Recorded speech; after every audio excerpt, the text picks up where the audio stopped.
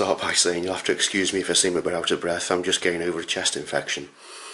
And it's been a nightmare for the past 10 days. I'm on antibiotics at the moment, get rid of it. I've had to just finish them, so hopefully in the next couple of days it should be gone.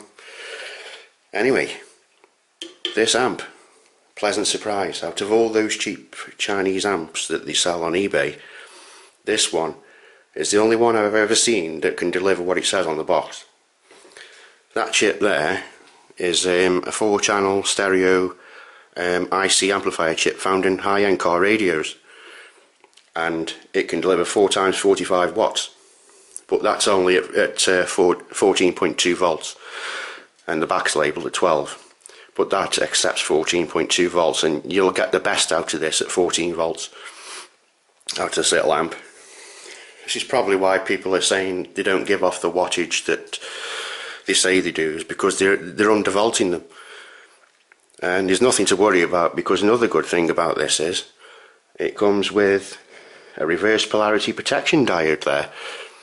Now that's a nice thing to see on a on a budget amplifier but that diode there stops you reversing polarity and doing damage to the rest of the board. So that's a welcome addition. If excuse me if you do run this at uh, 14.2 volts you might have to change this capacitor because it's only rated at 16 volts anyway so you're pushing that right to its limit. So I changed that 3300 microfarad cap to a 25 volt one then you'll be good to go. But if you're running it from 12 volts you know you won't have to touch that. Another thing you will have to do as well and I was a bit shocked about this actually that's a class AB chip it's not a class T tripath nothing like that which means it's less efficient now that doesn't mean it can't give off the watts it says. That means it'll get very hot. And the only thing on there is this little aluminium block. Now what I'm going to do is put some um, heatsink plaster on there when I put it back together. Seeing as I'm never going to be able to, you know, I'm never going to take it apart again, it'll be a permanent fixture to the side of the frame. It just screws to the side of the frame there and then two screw holes. So if I put some um, heatsink plaster on there, that'll make the whole of the frame act as a heatsink to cool it down because they do get hot.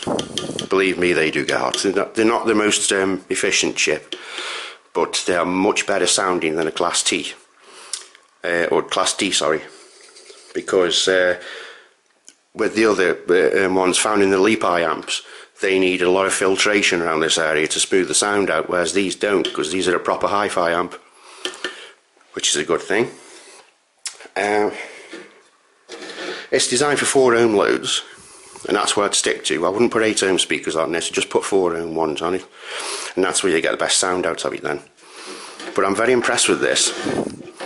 I mean it was only 18 quid and uh, it's like I say it's the only one I've ever seen out of all these amplifiers that has got the, the, the proper parts in that it should have. The rest of them have been using mismatched parts from factory floor throwouts and just been soldered underneath on the board. This one uh, is pretty good. Another thing I'll mention about this chip, this um, TDA 7388 it is, it's built by ST Electronics.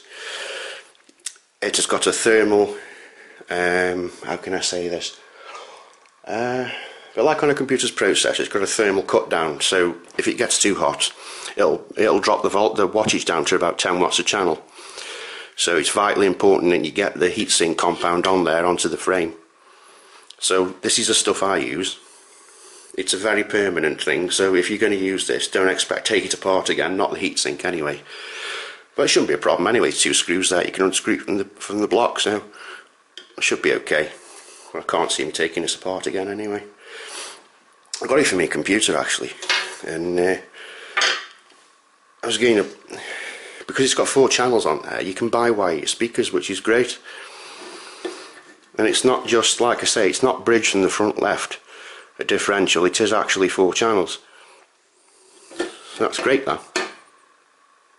so I'll get it put together now and uh, I'll give you a bit of a sound demo on my uh, Wharfedale Diamond speakers Right, it's been connected up to my Wharfedale Diamond 9.1 speakers. and it's something that you'll hear straight away as soon as you switch this amp on is the hiss. I'll just take it closer into the speaker as you can hear. That hiss. So you definitely, definitely going to have to change the filter capacitors in this if you want to use it. But apart from that, it's all good. And I've just double checked. It is a, it is a proper four channel amp. It isn't um, a differential between the front, left, and right. It is proper four channels. So um, we're all good there. But uh, it plays from USB and um, SD card. But you've got to make sure that the SD card or the USB stick is formatted to FAT32, otherwise it won't even recognise it. But uh, yeah, it's all good. sounds pretty good.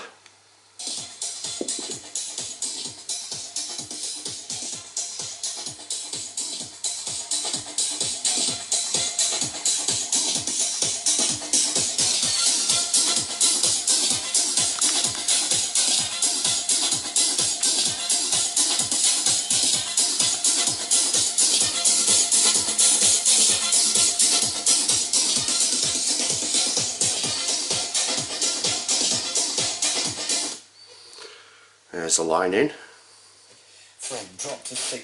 There's a radio. Behind the result was later annulled. so such things can happen on the tour. Sometimes exceptional things happen and sometimes it's a chance to get all agitated and angry and sometimes it's better to be calm and just let the dust settle on things and I think that wasn't intentional. Nobody saw that one coming but... There's something else you'll notice as well when you switch it off. Can you hear that? So you see the cone moving on the on the speaker there. That's a DC current getting through to the to the uh, speakers. So I'm definitely gonna have to change those filter capacitors. But uh, apart from that, the little niggly things, you know, it's a pretty decent little amp. I'm surprised how good it sounds.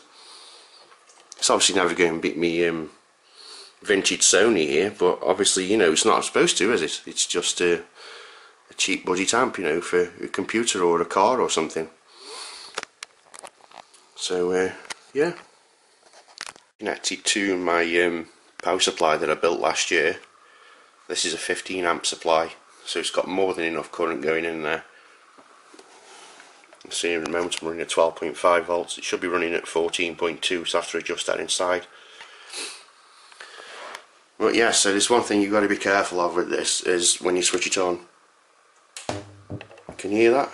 That's DC current going straight through to the speakers so you know the speakers aren't going to last long if you keep playing it. So you're going to have to definitely change those filter caps.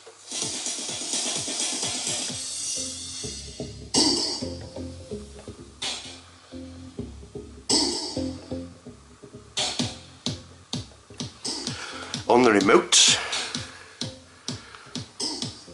there is a folder repeat a one repeats random as well, which is good. Or all repeat. And you've got a four, a four stage equalizer as well.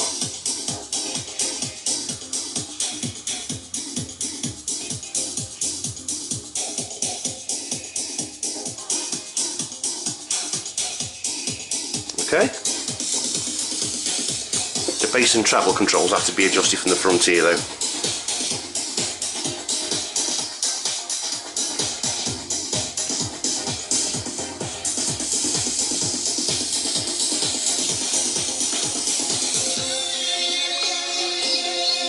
Careful with this music because I don't want to get a copyright strike. so I'll just pause that. But anyway, yeah, it's, it's a so the bottom line on this amp is it, it's pretty decent, but make sure you change those filter capacitors because your speakers won't last long otherwise. It's sending quite a, a, substantial amount of DC current through to the speakers by the look of it, so I'm going to have to get my multimeter on there and test what's going on. Find out what's going on. Okay, so that heatsink, what I did that's set now, it's been left overnight. That's set rock solid in place now, so that's going nowhere. And that is getting warm now, like it's supposed to do. Okay? So thanks for watching the video, and if you've got any questions about this little amp, give us a, give us a message, will you? And I'll get back to you as soon as I can. Okay? See ya.